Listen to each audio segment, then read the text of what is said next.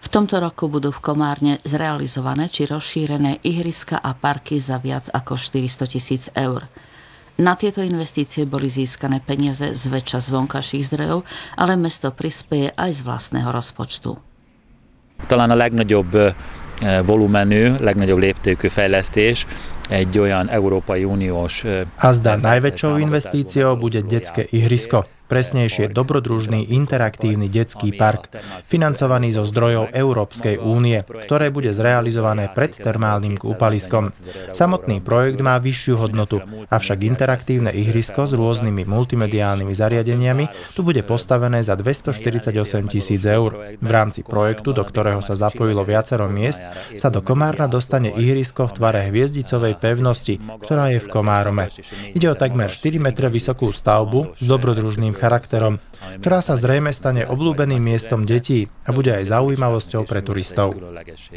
Ako je známe, naše mesto je jedným z výťazov súťaže vyhlásenej obchodným reťazcom.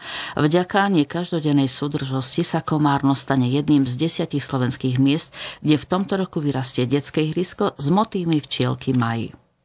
Azon fölül, hogy Komárom nyert egy nagyszerű játszóteret, amelynek a részletei hamarosan kiderülnek, úgy látom, hogy ez a 6 hét a lakosság... Okrem toho, že Komárno v súťaži vyhralo skvelé detské ihrisko, podrobnosti už čo nevidieť budú známe, mám pocit, že tých 6 týždňov hlasovania bolo veľmi dôležitých, pretože prispelo k súdržnosti obyvateľov. Tejto hry sa zúčastnili nielen jednotlivci, ale zapojili sa do nej aj školy, celé rodiny, priatelia z iných okolitých miest, dokonca mnohí moji kamaráti kamaráti žijúci v zahraničí hlasovali, aby sa v Komárne niečo vybudovalo. Predbežne je určené, že nové ihrisko vyrastie na priestranstve medzi obytnými blokmi ohraničenými Mederskou a Gazdovskou ulicou. Keď ideme z centra mesta k priemyselnej škole a prejdeme poza internát priemyselnej školy, tak tam je ten priestor, ktorý momentálne funguje ako verejná zeleň.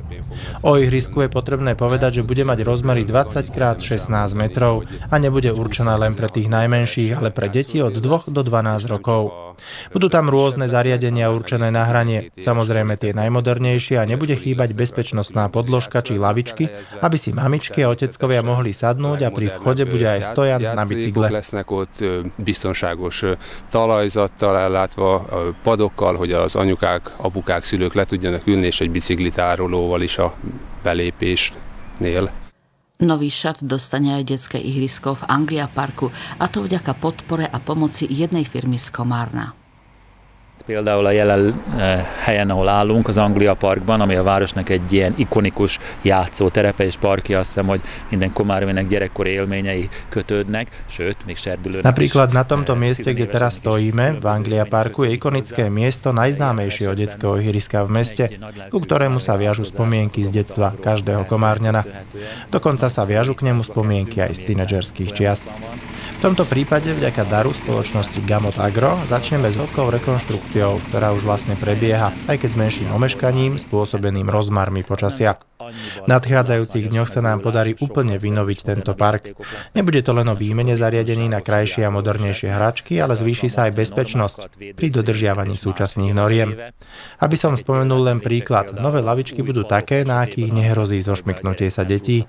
Pribudne fontánka na pitie, keďže v letných mesiacoch je takéto zariadenie priam žiadúce pri hasení smedu detí a ich rodičov.